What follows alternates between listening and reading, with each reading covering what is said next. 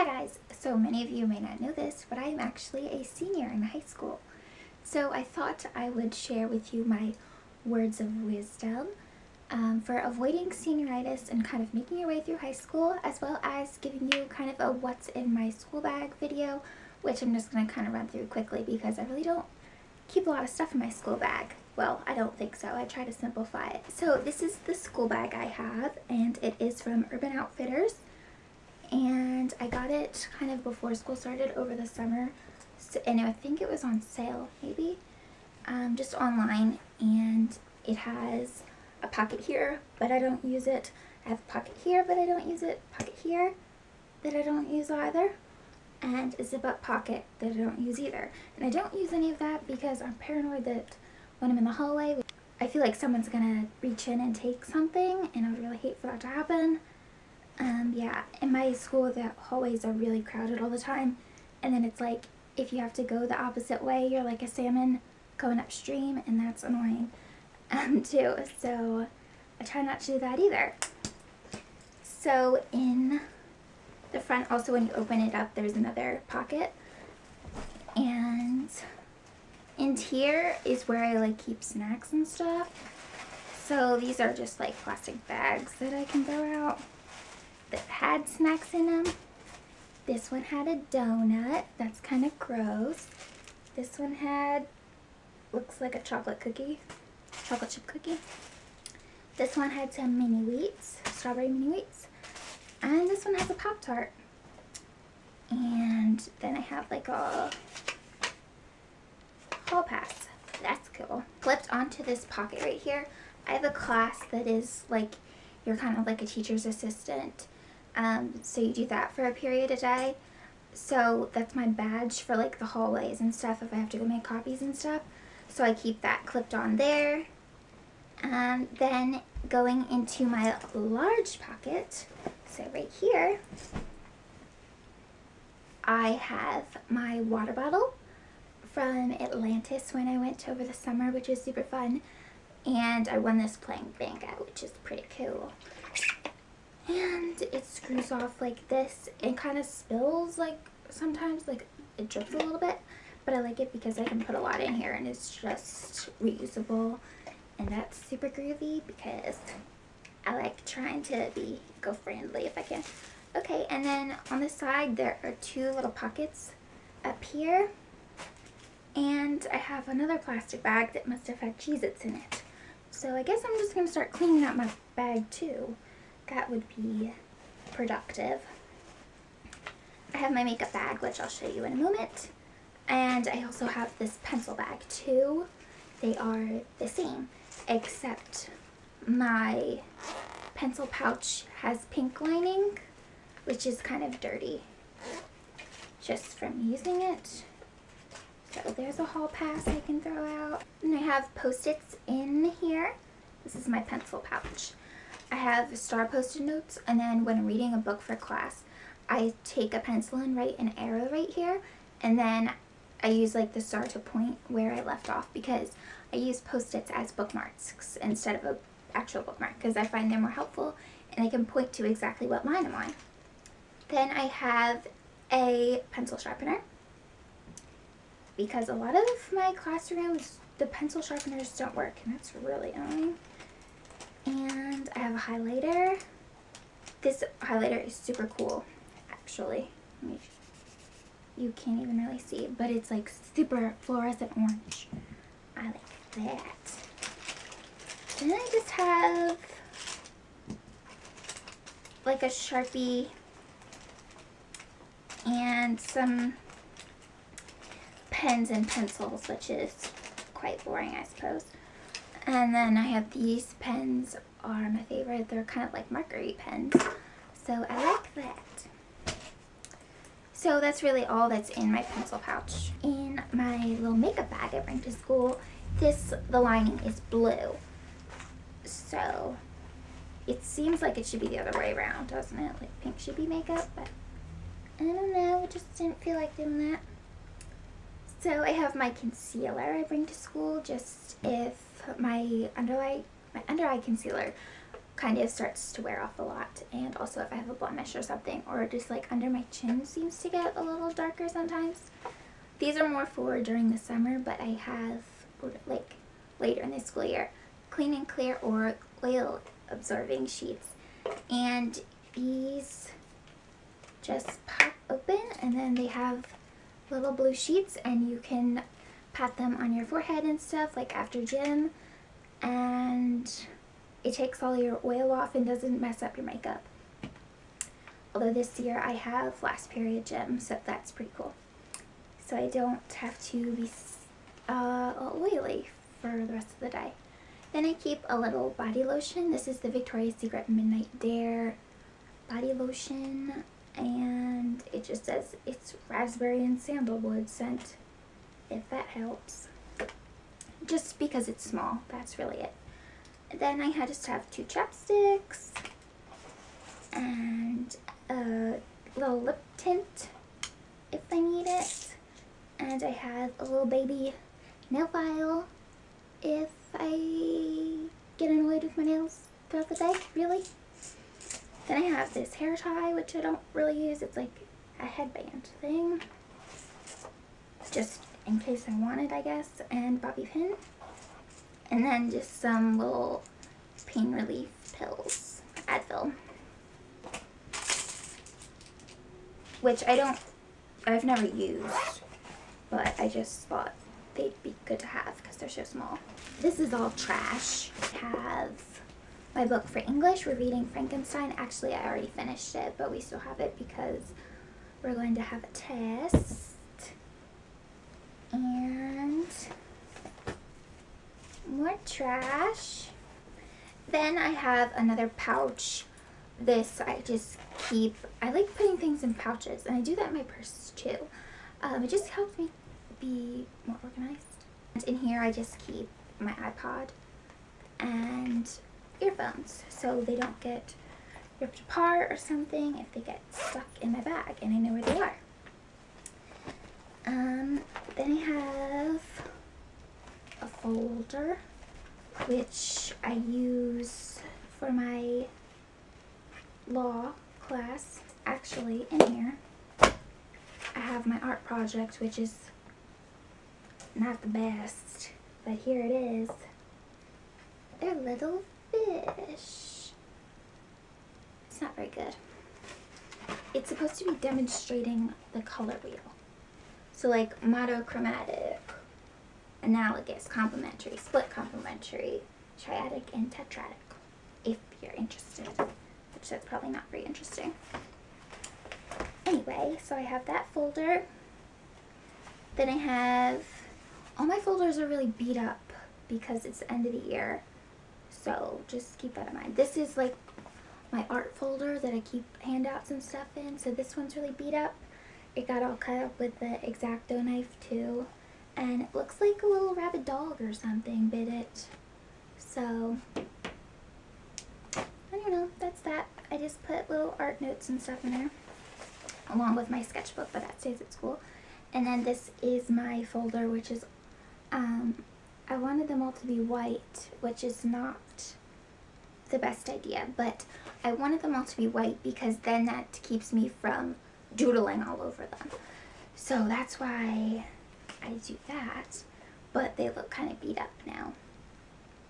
So this is for my psychology class. Okay, and then I have my folder for my English class, which is the same as the last one. And then I just keep a five subject notebook, which is really kind of a waste for me, but I just really use it for my math class and just the loose leaf that it has. And also just like doodling if I'm bored or something, which I don't really do. There aren't very many doodles in here, but I like to think that I doodle sometimes.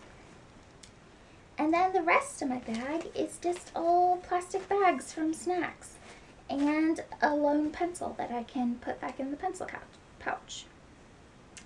And then in here, there's also like a little pocket right here that I put like my phone in there and I put my ID pouch, which, ooh, also I have in my actual purse, I have like a little Vera Bradley thing that has like my ID in it, but I'm not going to show you that anyway. So, and then I just put like um, a dollar or two in there just in case I wanted to get like ice cream or something in school lunch.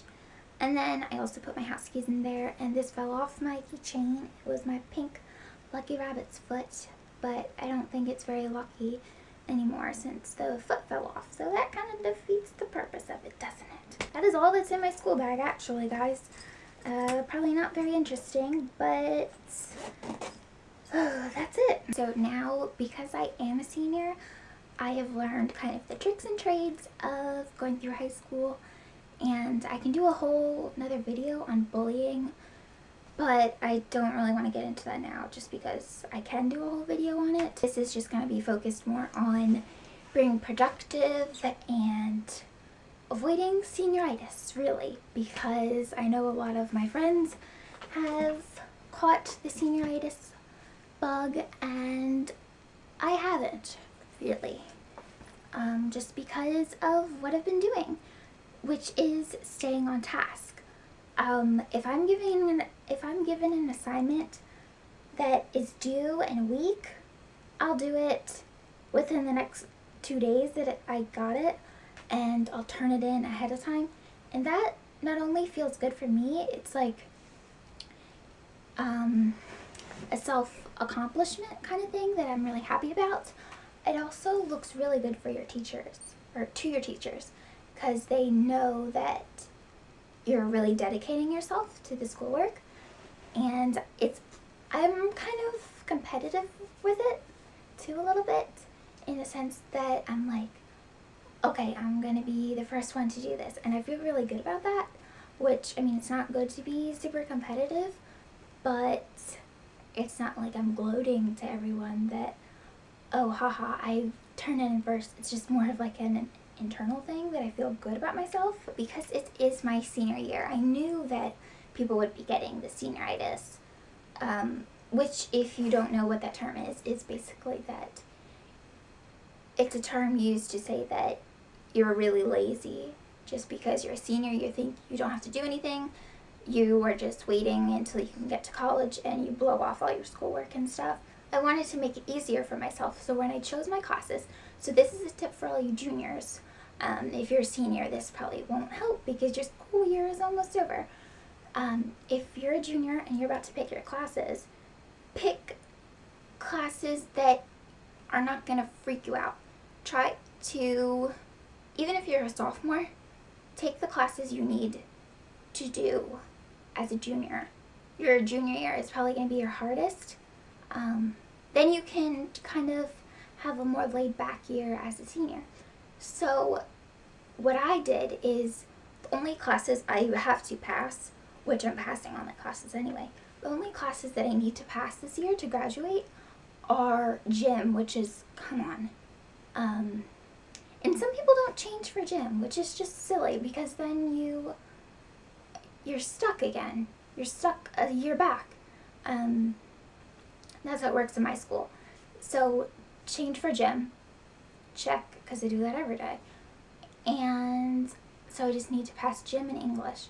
In English, I have an A in because I really dedicate myself to my schoolwork. If I have reading logs due for whatever book we're reading, I do it. If she gives extra credit, I'm done that night. Um, and I'm also kind of a perfectionist with my schoolwork. Um, I'm not rushing through it just to do it. I really do it thoroughly and put my time into it. I won't, like, there'll be time. So make it easier on yourself. I knew that I only need to pa pass those two classes, so those are the only ones I did. And then I chose four electives, which is just kind of fun. So, and they're not super difficult classes. I mean, I took one AP class just like as an elective, just because I wanted to kind of bounce off my schoolwork so I wouldn't just be like, oh, well, I only need to pass gym and English, so I can totally slack off now. I put the AP class in, so I'm kind of balanced out. So the really, the only two classes I really have to work in are my AP class and my English class. So that's a way that you can make it easier on yourself. With these five subject notebooks, get one because it keeps it easier for yourself from having to carry three notebooks, 18 folders, blah, blah, blah. Just get a one five, su- one five subject notebook and you can use it for all your classes. I thought I would use it for more of my classes this year, but I really don't because I get outlines in all my classes or I have to do all my work on a worksheet and turn it in. So a five subject notebook is definitely helpful. Another thing is just to be productive, um, which I kind of went over before with being staying on task. But being productive, um, if you know you have a research paper due and you have a week left to do it, do it instead of whatever else you want to be doing and you'll feel a lot better when your friends are all freaking out and you're like, I did that a week ago. I already turned mine in. I'm set. I can go watch my favorite TV show instead of having to worry about it.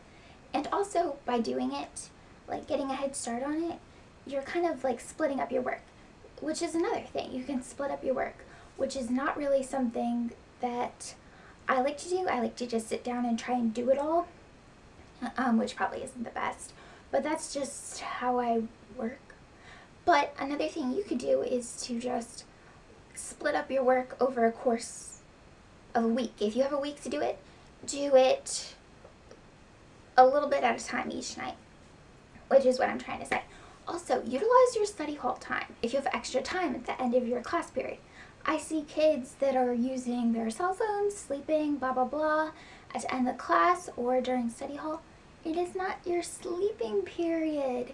If you finish your schoolwork during school, you can come home and instead of having to stay up, which would make you sleep during your study hall period, you can sleep then at home because you've already finished your work during your study hall time. So I'm the only one in my study hall that works on something every day. Um, and then everyone else really sleeps, and I don't understand. Breathe. Okay, I think that's really all I needed to say. If you have any tips for freshmen, uh, seniors, any school grade, um, leave those in the comments. And that's all I really have to say right now, I think kind of out of breath. I will do a whole nother video on bullying uh, throughout my life, I suppose, um, if you want, or any other topics you want to know about, whether it be friends ditching you for whatever reason, or like friends versus friends, which I've dealt with, or boys don't let boys be a distraction, is what I'm going to say for right now. But if you just have general questions about boys, leave a comment about that. And maybe I'll just put a whole video together about boy questions. That would be pretty interesting, I guess. Even if you have, like, a specific scenario that you're going through, you can inbox me if, if you'd like to remain anonymous. Um, I like giving advice. So I feel like this is something I can do. Um, just going to start with high school topics right now because I'm in high school and that's easiest for me right now. So, um, yeah, I hope you all have a lovely day and do well in school. I hope this helps you. If you have any tips, leave them below or anything else you want help with. Um, I'm not, like, certified in giving help, but I can just kind of tell you what I've done um, in experience and other people's scenarios that I've seen happen. So I hope you have a nice day. Bye.